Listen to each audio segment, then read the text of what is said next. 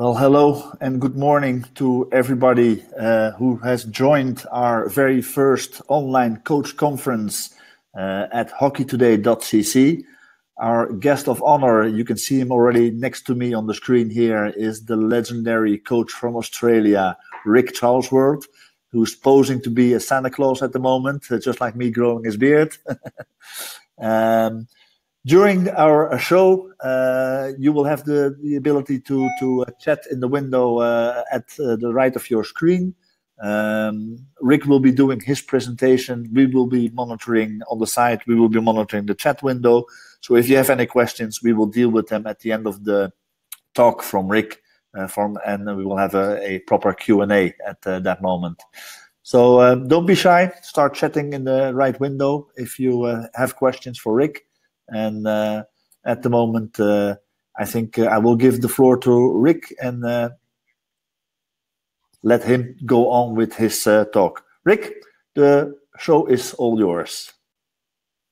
Thank you, uh, thank you very much, Ernst. This is an unusual experience for me. You, normally, you can react with the audience, and so uh, I do my best. It's it's experimental.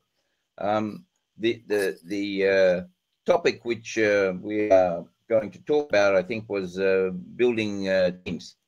And uh, I'm waiting, uh, Ernst, the uh, the presentation. Uh, yeah, I think it will be on. Yeah, there we go, and just a nice picture. In the end, I'm going to talk about unashamedly about my experience coaching national teams.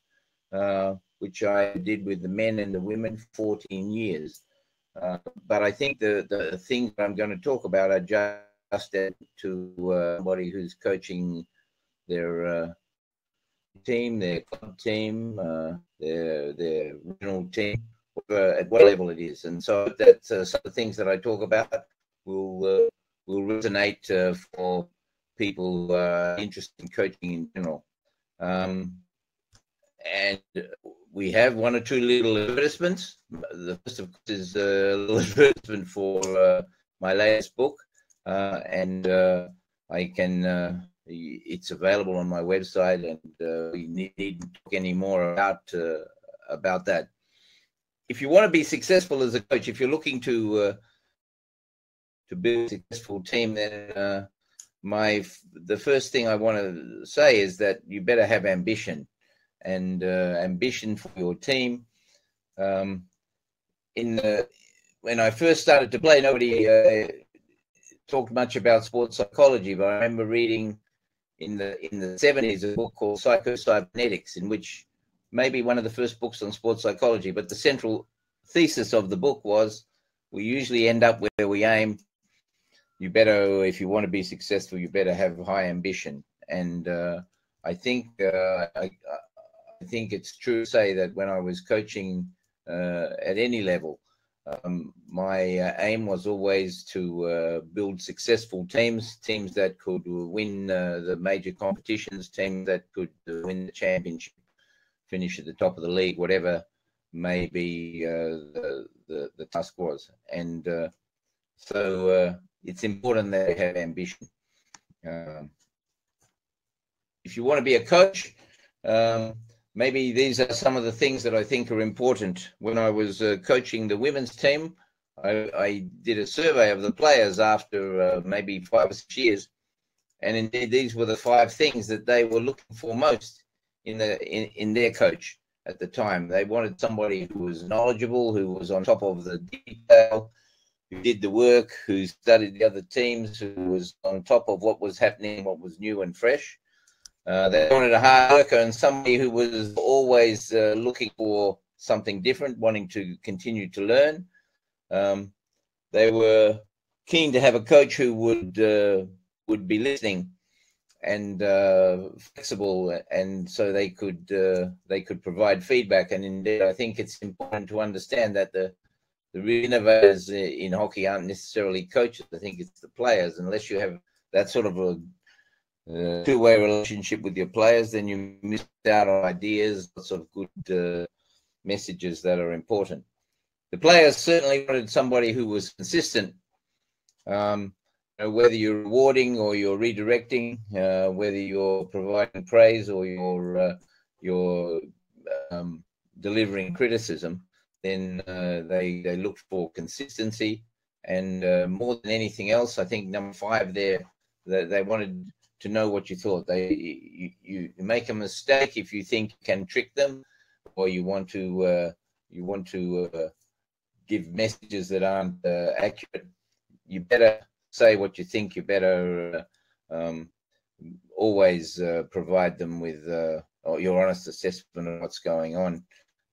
they respected that. They might not always like it, but uh, if you're consistent and honest, then uh, you build a, a relationship on, on, which you can uh, you can build things.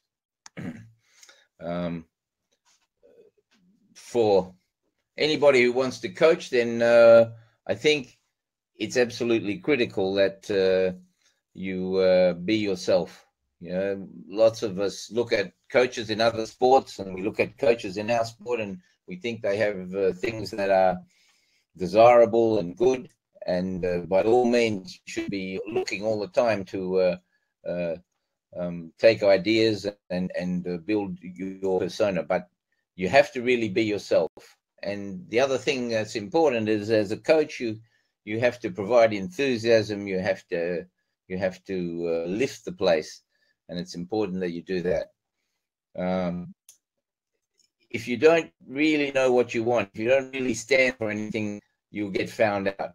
And so we should always be looking at our uh, approach to the game, how we want to play it, what things we think are important, and you better stand for those things. And uh, uh, that's uh, really, really important. But if you look at that second point that I have there, know what you want and stand up for it. Uh, I say until, and the until is about Yes, sometimes uh, things move on. You have to change.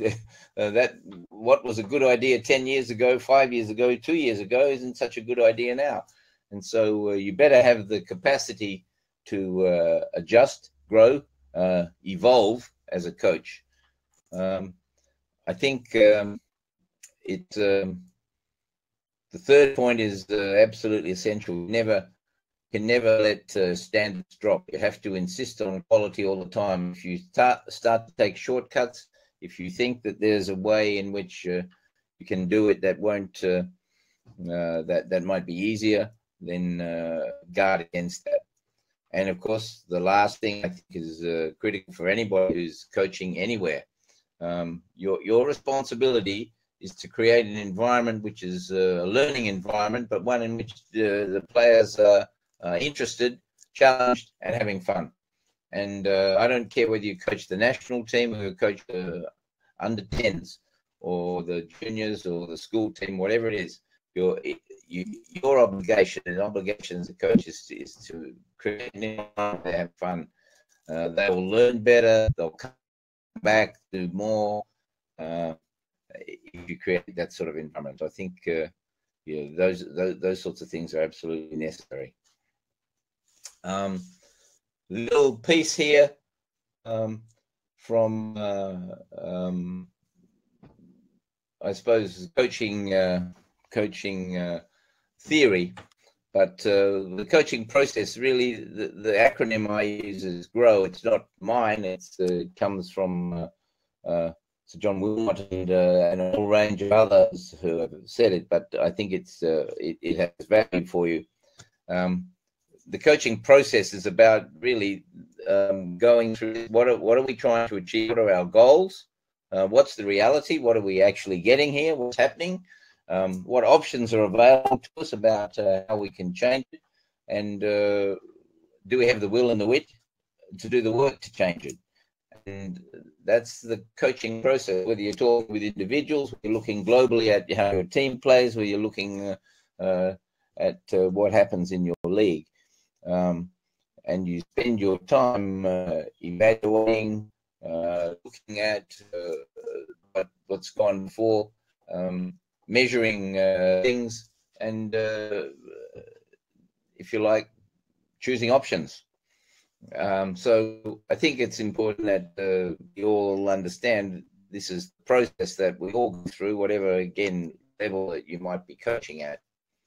Some of the concepts that I think are important, certainly um, these sorts of things are all in coaching books, but uh, we uh, we need to uh, talk about them a great deal. We need to have them in mind when we design training sessions, when we think about tactics, when we understand uh, skill development, all of the, the bits that go to uh, to developing a coach. Um, first rules of of, uh, of uh, skill development is uh, specificity. You know, uh, you better be doing um, what's uh, what's required. You better develop the movements that are part of the game if you're going to uh, be successful in in developing skills that that you need. And in physiology, if you want to develop new capacity, you have to uh, increase the load. You develop new capacity, you uh, find yourself capable of doing more things. And uh, so those sorts of principles are important. The challenge point is interesting in skill development. It's the area at which you start to fail, which people probably can't reproduce the skill. And so the, it's necessary to keep pushing past that. And uh, uh, and you need patience and persistence to do this. Uh, and of course, uh, um, it, it's it, it's one of the more difficult things for any athlete. A lot of a lot of what you do in coaching isn't about changing people; they change themselves, but you create an environment in which that occurs. Process versus outcome is first rule of sports psychology. You know, you uh, better focus on the process. Uh, if you get distracted with the outcome, uh, that's when uh, you you lose focus as an individual or as a team. Important that the coaching process involves lots of dialogue and questioning, reflection is constantly important. Those sorts of things are critical. And uh, in the end, while when you're coaching young children, there may not be uh, the same quality of the relationship as you get older and you're coaching adults, then uh, certainly there's much more equality. This becomes a partnership, a mentoring environment, rather than one in which you're, delivering uh, messages from above. And uh, I suppose the last uh, concept I think is that for me, skill is the technique plus pressure. I want people who develop skills that are reproducible under pressure. And in the end, if your team is going to deliver on important matches in uh, on the big occasions, then your players have to be able to uh, uh, be able to do that. So these are just, if you like, some of the, the the concepts that I think are important. Who's your team? Well, number one, of course, is your players, and then we talk about you know their capabilities, their flexibility, their strengths and weaknesses. All of those you have to assess. You have a, a staff of other coaches, or maybe some people who assist you, or maybe you just have a manager. Sometimes with the juniors, you have somebody who can help with strength and conditioning in the national team in a club, big club team or a, or a regional team, then you may have all of these people. You may have uh, medical support, dietary support, uh, career and well-being. Seven probably is one of the things I think is important. I think the area where the most competitive advantage in sport in ways, that's in the area of human behavior. Mostly it's done uh, even in the most uh, professional sports, uh, I think uh, that's the case. All of us coaches see ourselves as amateur psychologists. But I think that uh, uh, someone who's a specialist in human behavior can offer invaluable insights to any coach. The other things I think go without saying, but of course, um, number nine is really important, has been for the last decades. When I first started playing, coaching was mainly occurring by anecdote we didn't uh, we didn't have regular videos of matches. We couldn't um, see what actually happened, and so a lot of uh, what happened in coaching was I thought this was what occurred, and I thought that was what occurred, and we never really had the reality in front of us. Now, video and the analysis, the capacity to count things and keep statistics is a critical part of being able to uh, manage a team unless you can measure things accurately, then uh, you're not likely to get objective results all the time, and that's of course what you are hopefully wanting to uh, to have. And then finally, I thought I should say a little bit about the strategy and tactics. Um, it's pretty simple. Our game. Uh, you get the ball, you try to keep it, you get penetration, and try and score. And if you lose it and you don't score, then uh, you've got to try and get it back again and start again. And uh, so uh, I think that's what I think. The second point is uh, is something that people get don't necessarily get right. There is a balance between possession and penetration, and my view was always that uh, you have to get that balance right. If you just possess the ball uh, and and you don't penetrate or threaten the other team, then uh, pretty soon you're going to make a mistake. Something's going to happen, and you'll be in trouble. And so I would always say to my players that possession pass doesn't have to be backwards and sideways. A possession pass actually be uh, uh, penetrating and uh, getting that balance is a critical part of uh, how you have to go about the game. Uh, of course, whenever you're building a new team and you're building a team that you want to be successful with, you better build a defense first. But always practice making goals. I don't think that any train. I don't, never had a training session where we uh, where we weren't trying to make goals. And indeed, for the players, this is the most interesting, challenging part of the game. And uh, you have to uh, you have to uh, be there. You have to be wanting to do that all the time. Being unpredictable is important. And the thing about being unpredictable that is difficult is, of course, you want to be unpredictable to the other team, but you want to be predictable to your own team. That only comes through lots of uh, work together, cooperation, understanding each other's game, each other's skills and abilities, and what some person might do in any particular circumstance. So in the end, yeah, you're wanting to be unpredictable, but you're also wanting to be predictable to your uh, to each other. In our game, getting the set plays right is uh, critical. It's a big part of the game as the rules are structured at the moment. You better be good at that. And uh, if you have, you know, if you have deficiencies in that area, that's defending corners or taking corners or all of the, the starting points, you know, the outletting uh, when you win the ball from the side of the field or from the back of the field. Um, when uh, you have a long corner, those situations, you better you better spend time on that. That's important. Um, nothing, I think, is more important than a team first mentality. You want players in your team who are willing to uh, play for one another and indeed uh, sometimes limit their personal ambitions for the team. And uh, then I think the other thing that makes uh, makes uh, hockey interesting is, of course, you always uh, got to be willing to try things, you know, while always learning from what's happened in the past. So you're looking ahead and you're looking behind, and you uh, you better be doing that with whatever group of players you're uh, you're, you're working with. Um, so here's if you like uh, the building a team. You, if you want to be outstanding, if you want to build a team that uh, that you think can be uh, uh successful, can can win the championship, the league, uh, the medal, then uh, I think there's four things you've got to do. You've got to be smart, healthy, diligent, and skilled. And I'll just talk a little bit about those things. I'm going to talk mainly about healthy. And healthy isn't about fitness or, or good health. It's about the culture of your organization, the way you interact with one another, the, the, the relationships that you have, and uh, your capacity to learn and grow to together and uh, to connect with one another. Um, but I think those are the they're the things that uh, I would I would focus on. Um, nobody uh, probably in Europe would know who these people are in this slide.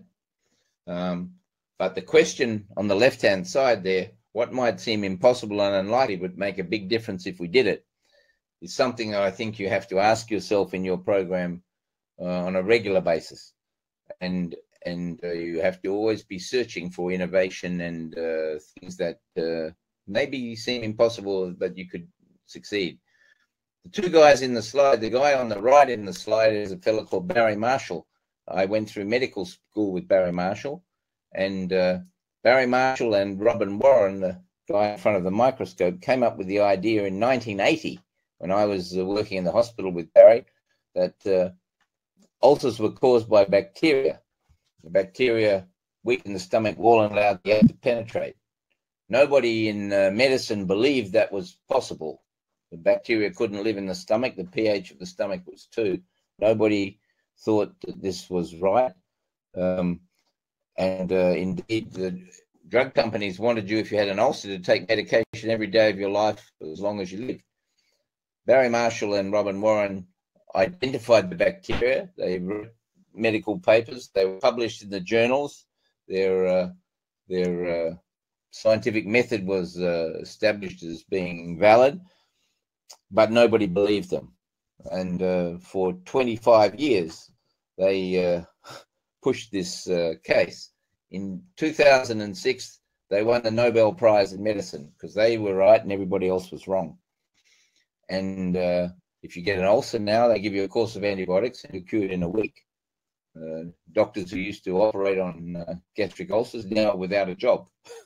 the, the, thing doesn't exist anymore. And uh, so uh, it was a, if you like, it was a, a historic um, invention or uh, you know concept. Um, and I think that the same thing applies, uh, not of course with the same impact, but in our sport or in things that we do. Certainly, I think that, uh, um, for instance, we went to the Atlanta Olympics in 1996. Atlanta was very hot and very humid, and everybody said you have to play slow in this environment. You can't play a high tempo game. Um, we went there to play a high tempo game. But there were two changes in the there was a change in the rule that allowed us to do that was the interchange. Most of the other teams didn't embrace the interchange. We interchanged 70, 80 times a game. And uh, we also uh, invented those little ice vests that people wear now in hot weather.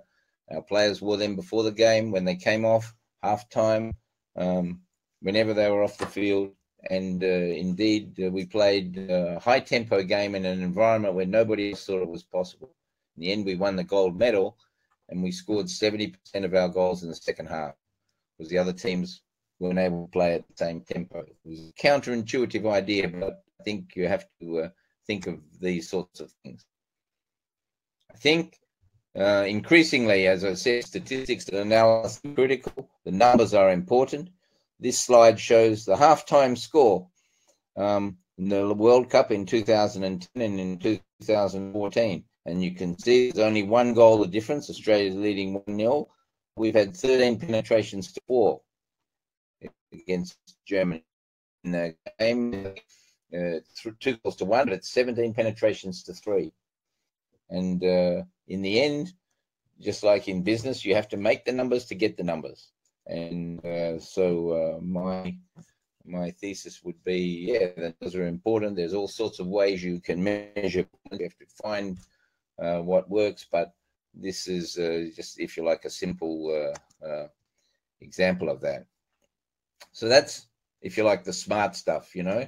Um, but smart's about strategy and tactics analysis sports science all those things which you have to do which are important and which depending on your capacity any particular sport may be different. But um, about things, continuous coaching, a listening, learning culture, you know, which goes both ways, players and coaching staff, um, excellent teamwork and fine communication and relationships. And in particular, the thing that's really important is candor. And I'll talk a little bit about uh, candor uh, later. But I think that uh, that's a very important uh, uh, thing. Now, I think now, Ernst, we are going to show um, a video. Little touch to play in Orchard. Kavanagh. Swann now. Stevens stepped up into that right pocket. Swann spotted a gap, goes on the tomahawk, and there's the cross in. Orchard's going to have a chance here outside the post. Oh, open goal, and they score. Kieran Govers scores, but automatically the Belgian team have run away to Raghu Prasad to ask for the video referral. I'll go from your foot. Your foot. All right, thanks, Kieran. Well, Kieran Govers has just admitted that he kicked it. What an unbelievable bit of sportsmanship. He stuck his hand and said, "You know what? I kick this before it goes into the into the D. It's come off a body. He's already said before it goes in that there's a foot. That's exceptional sportsmanship at this level of competition.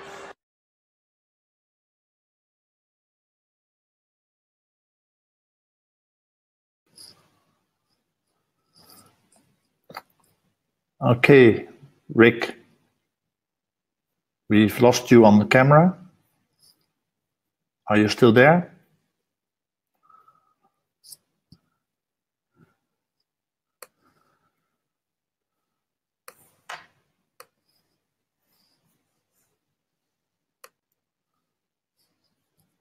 Um, well, people, I think we've lost the connection with Ric for a moment here. Um, let's give him a little bit of time to uh, get back into uh, into his presentation here.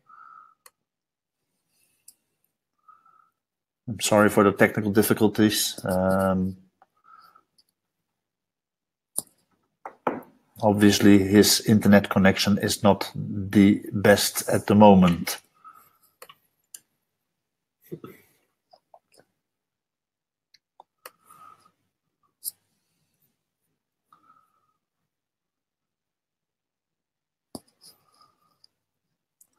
Ric, if you can hear me, maybe it's a good thing to log out and log in again.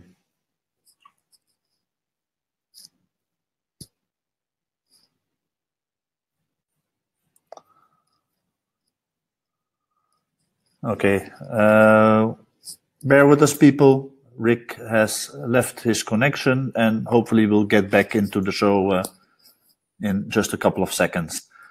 This is what you get if you try new stuff then sometimes uh, things go wrong and we have to deal with it.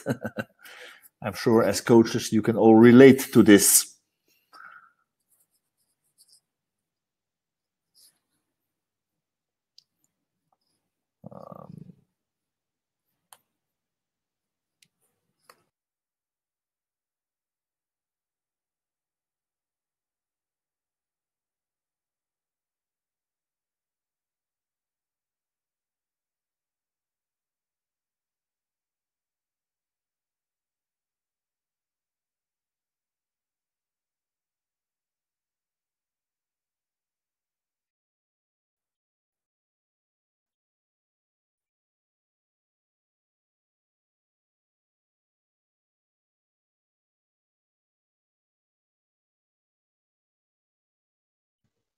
Hello? Hello, Ernst? Now you can hear me. Sorry, I had my ma- Yeah, my mic muted here. So this is I was just telling the guys this is what happens if you're uh, in, trying new stuff. Sometimes uh, you you run into shit, and uh, as a coach you have to deal with this. we we can all relate to this, uh, I think.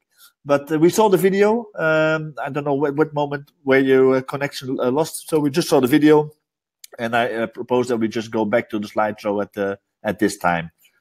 Yeah, yeah. I, I, I'll just make a comment about that. Um, Okay. Yeah, go ahead. because uh, um, in the end, the the the the the, the slideshow, yeah, the, the what the purpose of the video. Um, lots of people would say, "Well, why would you do this?" Um, my philosophy was that uh, uh, we never take a shortcut, and uh, by claiming something we didn't earn, we we take shortcuts we set a standard for ourselves which isn't as high as I want it to be. And so uh, the utility in having that approach was, uh, and indeed we uh, we used to discuss this a lot in our team. The, the, view was that we never never cheat, and uh, by doing so we set a standard for ourselves which uh, stretched us uh, and uh, didn't allow anybody to uh, take a shortcut. I think it's it's um, there's all sorts of ways in which you develop your culture and uh, you things that you think are important. Not everybody in our team, I would think, uh, agreed, but certainly the majority of them did. We go on to the next slide, and and uh, just a, a little uh, quote here. coaching for me is about comforting the troubled and troubling the comfortable. And there are players in your team who uh, who are ahead of themselves and overconfident, and there are players in your team who need support and uh, assistance. And so, as a coach, you find yourself uh, uh in both the situations. I think it's important. Essentially, when you're coaching, you're rewarding you're redirecting and you're reprimanding. They're the th- things that you're uh, constantly doing with your players. And uh, if you, uh, the relationships you develop allow you to do that to different uh, different degrees. then we had the video slide. Then a little piece. This is comes from a business book.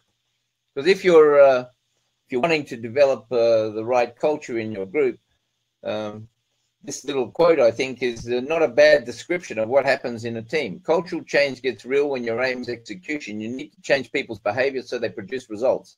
It's what we're always wanting to do as coaches. You discuss how you get these results as a key element of the coaching process. And we've already talked about the coaching process, the grow thing, you know. Then you reward people for producing results. If they come up short, you provide additional coaching. You withdraw rewards, you give them other jobs, or you let them go. And now, when you do these things, you create a culture of getting things done. And I think while that's a little description from a business book, it's a pretty good uh, uh, thumbnail sketch for what uh, might be involved in uh, uh, coaching with your team and the environment in which you work. So we're, you know, if we're not producing results, we keep working at it, we practice it more, we try other things, we move people around, we maybe try different tactics, whatever. And so sooner or later, likewise, someone's not able to do it, then uh, we have to find uh, someone else who can. And uh, that's uh, that's the process that we spend our times our time in. Another little piece of advice from business. This comes from Heifetz and Laurie. This is a piece from the Harvard Business School. Followers want comfort, stability, and solutions from their leaders, but that's babysitting. Real leaders ask hard questions and knock people out of their comfort zones and then manage the resulting distress. And again, what's the level at which your team's going to play depends on what competition you're in or whatever else. But I make understand if you want to be special, then it's hard and difficult. And uh, you uh, have to uh, take people to a place where maybe they didn't think they could be. I uh, spent 14 years coaching the national teams in Australia, and in that time, I never met a player yet who knew how good they could be. And my job was to lift the bar, extend them, take them to a place where they didn't think they uh, they perhaps could go, and and uh, that was the the great one of the great challenges of coaching. If you're going to have a successful program and a successful team, then you absolutely need this. This is a famous photo from soccer, of course. We all remember Zinedine Zidane headbutting the uh, Italian player in 2006. Probably might have cost France the title because, of course, he was then not able to take penalty at the end of the game, and uh, um, Spain was uh, uh, um, France was disadvantaged. But anyway, um, this is a quote from Zinedine Zidane about Real Madrid in 2006. Real Madrid, of course, is one of the richest clubs in the world with the highly paid players. But this is problem this season was that there were too many strong personalities in the dressing room. We didn't communicate properly because we were too afraid of upsetting one another. And in 2006, Real Madrid finished 27 points off the top of the league. So it was a pretty appalling season for them, given the caliber of their team. And my uh, my uh, spin on this quote is that there were no strong personalities in the dressing room because if there were strong personalities in the dressing room, then they would have addressed the problems they were having that season and they were playing poorly. And indeed, um, this is what happens in this is what happens in families and in businesses people do say what they think and if you have that environment then it's very difficult to find out what's actually happening we're afraid of conflict we avoid conflict. We run away from it. We don't want to. Uh, we don't want to challenge. Sometimes you have to be able to say what you think. And if you're going to be an effective team, if you're going to be a successful team, then you have to have difficult conversations with people who are in the team. And uh, usually we run away from difficult conversations. You know, the normal response, if we don't like the criticism we're getting or we don't like the message that we're hearing, is we either fight or flight. We, we argue or we run away. Neither of those things are useful. You have to be able to embed yourselves in uh, crucial conversations. And if you're the coach, you have to become somebody who the players believe has the best interests at heart and who they respect for their for your opinions and for your uh, knowledge. And uh, if you don't have candor in your organization, or your family, or even in uh, your business, then you're not going to be as successful as you can be. You may, you may well okay, but I'm talking about if you want to be outstanding, then you better have an environment in which people are able to say what they think, ideas are able to be challenged, and uh, and we can progress from there, and in which people uh, connect with each other in a real and honest way. And these are the sort of conversations sometimes you have to have. Actually, things that when you do that, it hurts our team. What might you do to change that? What do you think is your greatest weakness? How does this impact on the team? What's stopping you doing something serious about it? You're not living up to the expectations of your teammates. You know, the easy, to give uh, the good messages. Oh, you're playing well. That's good. We, you know, and and you need, of course, to to uh, reward uh, those that are doing well. But you also have to have these sorts of conversations if you're going to maximize the value you're getting from the people in your in your team. And uh, surely we run away from these conversations, you better be able to stand your ground and be there for them. I think this one is uh, easy. Um, the photograph there is me when I was very young, uh, when I was a medical student. But I, I learned one of the most important lessons I learned for coaching came from that time. We had an old surgeon who was teaching us, and he used to ask us at the beginning of each week, What's the price of life? And we didn't know the answer for the first couple of weeks, but we learned the price of life. Mr. Pestle, his name was Mr. Pestle, is eternal vigilance. And he wanted us to become capable surgeons. He wanted us to be diligent, spend time in the anatomy room. He wanted us to spend time assisting in operations. And what he was trying to build was uh, a group of uh, students who uh, who were diligent and paid attention to the details. And uh, that's what you want in a in a surgeon. I think from my time in coaching, usually in the end, when things go wrong, it's because we get simple things that we ought to have got right wrong, or we uh, aren't able to deliver, you know, the basics as well as we could. And uh, so the time and effort and energy that is spent in drilling and, and uh, um, perfecting our skill uh, and uh, building, if you like, our resilience for when things go wrong is uh, is critical. So these are the things that are important uh, in terms of diligence, and of course, it's only through quality training, and quality of your training is critical that you uh, that you develop uh, those skills. For me, training has to be harder than the game. So you know, lots of game-like situations lots of situations in which you've got less time and space in the game, or you're outnumbered, or which are more difficult than the game. Um, because if you put people in that decision-laden environment, in that environment where it's very complex and difficult, then in a match they're maybe going to find their way out of it. They're going to find a solution, and so training uh, is a critical part of that. If you don't, if you don't have quality training, then anybody to uh, successful team. Um,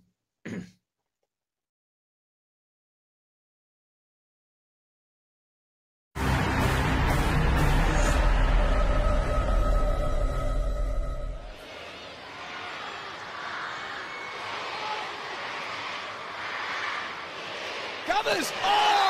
Can you believe that goal? It's the most brilliant goal you may ever see. The overhead from Knowles has been tapped in by Govers right on half time.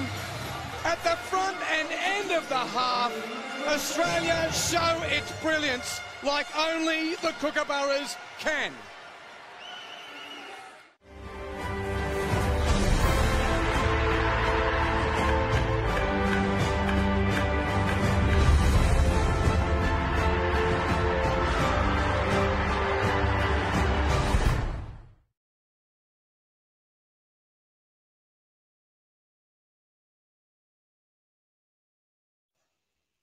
I'm yeah. Here we go. Let me open up You're the still here? Yeah, yeah, let me open up the presentation for you. Sorry. The story of the video is an interesting one. Next, we go. Yeah. The, the story of the video is uh, interesting for me, and maybe it's uh, interesting for you. Um, during the tournament the, in The Hague, the World Cup in The Hague, we played a game against Spain. And uh, just before half time, leading and um, we played the ball at the back of the pitch for 45 seconds and didn't cross the halfway line. And I was angry with the team uh, at halftime. And after the game, I made the point that uh, um, really there's a, we have control of the ball. There's a short period of time to go. We, we, we really need to get some penetration and make an opportunity to score at the other end of the field. And uh, that ought to be always what we're looking to do and uh, I, I, never believed. Yeah, maybe there's only a, a, few seconds to go in the game, and you play safe to keep the game safe. Then of course, but this was just before half time, so uh, um, I I made the point very strongly. In the next game we played against Great Britain, you saw what just happened with eight seconds to go. Knowles threw a ball over the top, and uh, uh, Gover scored an extraordinary goal, really uh, a pretty special goal. But the, the message from me was that uh, here we have the, some of the best players in the world, in the biggest competition in the world, and I think that, that they get lazy or they they uh, they don't don't uh, appreciate what's possible. They're not pushing as hard as they could, and so uh, it was a, if, if you for me like it was a real example of during the tournament uh, adjusting something, making sure that we didn't make that mistake again. And of course, doesn't always happen like this, but in the next game, a special goal was scored. Skilled, we understand, I think, what this is about.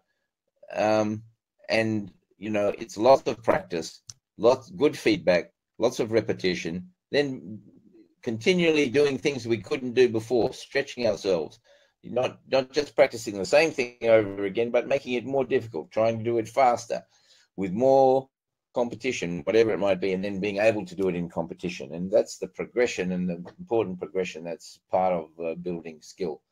So those four things that I spoke about, you're going to be smart, healthy, diligent, and skilled. Uh, you like, I've covered them. I just th- thought then there's maybe a few other things I would talk about. When I was coaching the Hockeyroos, um, before we went to uh, Sydney, our team had been successful for a number of years and uh, we were ranked number one and there was a big expectation and one of the one of the mantras that we had leading into that last year was that we wanted to avoid tragedy uh, and tragedy was an acronym that stood for these things you know terminal players those are players who were just hanging on uh, wanting to be there, not necessarily for the right reasons, weren't pushing themselves as hard as they might. Um, we wanted to avoid recycling. That's just necessarily doing what we'd done before because it's successful before. We wanted to stretch and push for new things.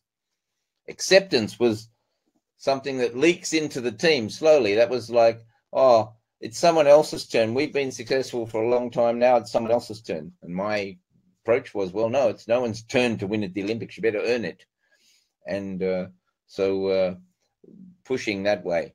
We wanted to avoid groupthink. This was the G of the of the acronym, um, and uh, this is that. Well, you know, whatever the group thinks is. You know, we want to challenge that sometimes. Sometimes the group gets it wrong. I, am happy for an individual to put up their hand and say, "No, I don't agree with that. We maybe there's another way." expectation is yeah it'll be okay on the day you know? If we cut a few corners it won't matter because when it comes to the day it'll be all right. That's a fatal mistake. You have to always avoid that. Um every you know? Even the best player in the world i remember seeing roger federer before the australian open 10 years ago expressing his doubt about whether he had prepared enough the best athletes the best teams have doubts you've got to be able to live those and the why in tragedy was for yes, this is you know uh, immediately agreeing with everything that came along. You know, it's easy to do. Yes, we'll do that. Yeah, that's okay. That sounds all right.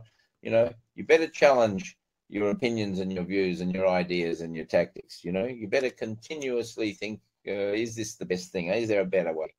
And uh, so it was an important thing for us leading into that tournament. And I think it's those those when you're when you're building a team over a period of time for a big tournament, as you do in our sport for, say, the Olympics, or even in, say, European Championships, or even for a club that's trying to build itself up, then you it's an evolutionary process, and you have to be aware of that. And uh, just final slide here. Um, I coached Hockeyroos for eight years, and this was produced by uh, a psychologist who was working with the team, and it's it's a, a description, if you like, as you go from left to right of the evolution of the team and the evolution of me as a coach. As you can see, after Barcelona, when I took over, the program was co-and hierarchical discipline. Before Atlanta, increasingly we were asking for athlete contribution then athlete participation. By the time we got to Sydney, athlete driven, you know, and so the the coach goes from being, uh, if you like, hierarchical on the left to a resource and mentor um, through a collegial process to get to the right hand side of the graph, and likewise. Uh, from discipline to self determination, from a doing culture to a seeking culture. That's the evolution that occurred over eight years with that team. And I think that uh, if you want to sustainably coach a group or a club or a team, then uh, you better you better understand that this is an evolutionary process and it, you evolve and the team evolves and the coach uh, needs to evolve with them. And then the final uh, slide, I think, is just a little bit more of advertisement. Uh, some of my other books that are, of course, available. Um, the coach is the Hockeyroos Tale the business primer, which is uh, staying at the top, and of course uh, Shakespeare, the coach, is uh, the psychology of sport. You know, Shakespeare was our first psychologist in English literature, so we think uh, he uh, he talked a lot about why people succeed and fail. Many of those messages, 400 years old as they may be, are as relevant today as they were in his time. So, 49 minutes, I make it, Ernst. Um, yeah, perfect timing, Ric. Uh, this is uh, it's been a very interesting uh, chat with you, uh, and and uh, I think we we've got some questions in in our uh, in our chat window. So we've got a couple of minutes left for a final Q and A at the end of of your talk here. let me get you to the first question we got. let me just quickly look it up here for you. first question came from Don. And he asked in an environment where everyone is desperate to be selected, how did you discern when players were being honest with you? Example given, yes, I'm fit to play, or everything is okay at home? Well, everybody's desperate to be selected, yeah. And when you're coaching the national team, I think that uh, um, in my book, The Coach, I talked about the criteria for selection and uh, there are a whole range of things that we looked at. Uh, but number one for me is current form. You know, not past form, but current form. You know, how's this person playing at the moment? Are they confident? What's what's happening at the moment? Um, and then you have to look at other things like the balance of the team. Do they have any special skills? Um, uh, how are we going to play? What what do they uh, perhaps offer us? There's a range of things like that. Um, I'm I I want everybody to want to play, but uh, in the end, um, then you have to also make some judgments about their fitness. So you might have to ask uh, someone external uh, in respect of uh, injuries, those sorts of things. But I think that uh, you know, for me, um, current form. Now, how do you measure that? And this is a subjective thing. It's the art of coaching. But I, I think it is important that you don't uh, necessarily uh, you seek others' opinions because all of us have biases, and uh, it's important that you uh, that you seek other opinions. I can tell you a story about uh, uh, selection in 1994 international championships, and I was looking for players for our team, as I always was, and I saw a young girl from Victoria. And I spoke to the selectors, and they said, "Oh, she's not good enough. She used to be the team before you, the coach." And I I watched again and I spoke to this girl and she said, Yeah, I was in the team for two years. I've been overseas with the national team five times. I've played 11 minutes. And uh, I don't know how you decide if anyone's any good after 11 minutes. In the end, we selected this girl and she played in our team. She got an injury a year or two later, so she only had a short career. But her last game for Australia was the Olympic final. She's a gold medalist. And she was someone who someone told me wasn't good enough, you know. So I think you need to. Uh, you need to seek other opinions. You need to understand that there are biases out there. You have them, other people have them, and uh, yeah, that yeah. that helps you make a better decision. Okay, uh, I, I, hope your answer is not going to be as long for every every question, but I, I think we got. I apologize. No, no problem, Ric. Uh, you're passionate about about your your business as as we are. So, and then we start talking, and we don't stop. Huh? That's that's that's always the case with us. Yeah. Um, we have we have a couple of questions from Jerome. Um, uh, first one he asked is how did you encourage uh, cooperation and communication between national, state, regional, and local coaches when you were heading up the national programs in Australia, so that everyone was head, heading in the same direction?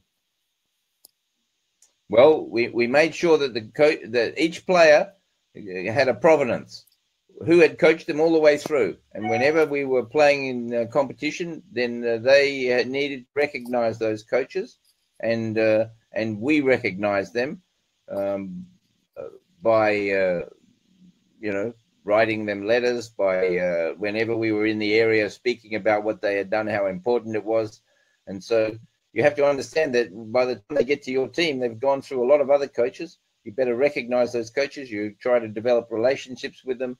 You ask them uh, their opinion. You involve them in the process. Makes sense. Makes sense. Another question from Jerome is uh, sensitive amount maybe. How long do you believe you you have as a coach with a group of players before that starts before they start to stop listening and it becomes time to move on as a coach? Uh, it's hard to say exactly. I, I think it's six to eight years, you know, maximum. Maximum. You know, sometimes much less than that. It depends on how you're going. But uh, I was successful. I lasted for eight, but I didn't. I wasn't there all the time. You know, you need other voices. True. You need other voices. True. But I maximum six. And and maybe a little bit related to that, also a question from Jason here is: uh, Have you ever thought that uh, okay, guys, I'm out? Uh, and if so, what kept you going for all those years? Yeah, well, I you, you have to. Uh, I mean, I I love doing it. I I I I never thought I would become a coach. I became a coach by accident in some way, but I thought it's I I will try this, and I found myself in a job where I was working with a group of players who were very talented, hardworking, and wanted to be the best. That was a great environment in which to work. So I was very lucky.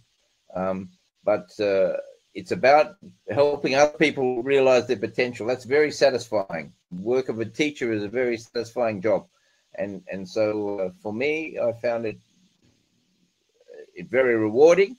Uh, I was interested. I loved the game, the challenges of the game. So, so it wasn't difficult, but you uh, you uh, you need other voices. You need to refresh. You need to bounce ideas off people. Um, then you can last. Yeah, true, true, true.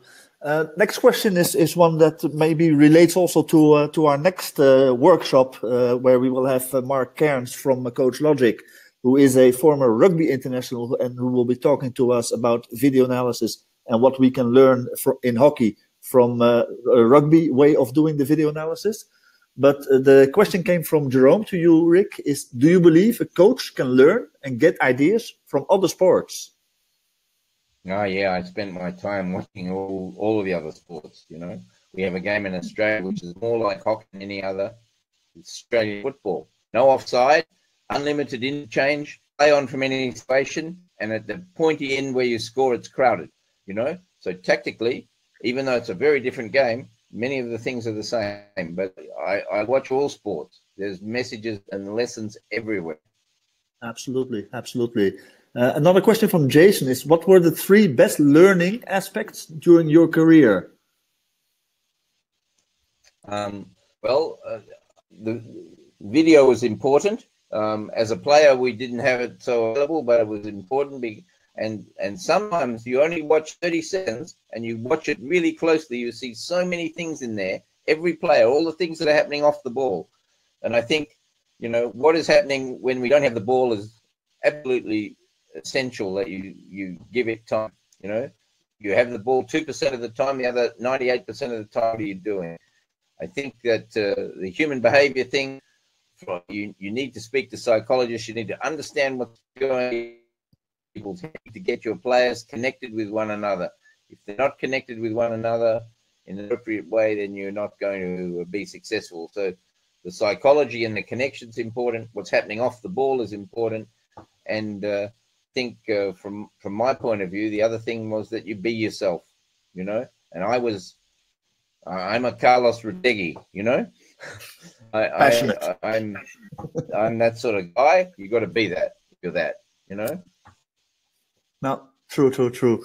Uh, last question for today, I think, uh, is from uh, Elliot, and he asked uh, Ric, how much input did you give to players in training content, and what you train during the the the, the, the training days, and how may you vary vary this for coaching younger athletes under 18s, maybe. Yeah, yeah. Well, uh, we the national team. Then the players through a lot of training, and they know a lot about training. There's lots of different coaches, so there's lots of ideas that come from them. And and we would ask them, what are you? What are what are some drills that we should do? What would you like to do? Sometimes we might not have agreed. We would modify it, but but we were always asking their opinions. Um, it is important that you make training. You give variety. You have to do different things. Sometimes they would have individual training where they were responsible for it themselves.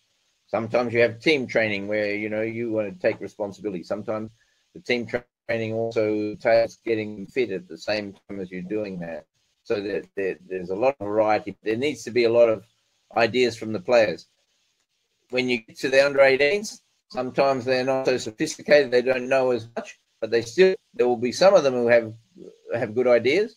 Some of their coaches might have good ideas, um, but you can always take things from the international game too that you uh, put into it because they are they watch that and they know about it and and uh, if you put it in that context it's exciting for them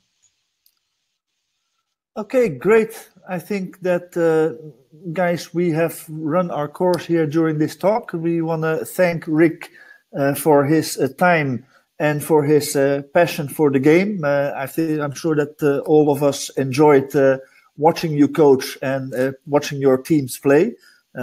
Myself, I was not so happy with you at the World Cup in 2014, but that's another matter.